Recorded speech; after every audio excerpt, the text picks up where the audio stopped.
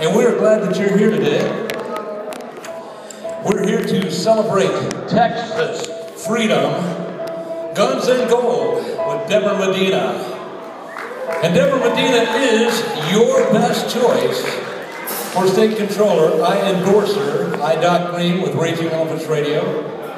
And uh, I think that that's what you guys need to do. Here's a little music for you by Sam and Dave. Hold on, David.